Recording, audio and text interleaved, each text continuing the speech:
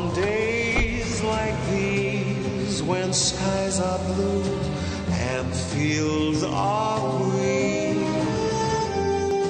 I look around and think about what might have been.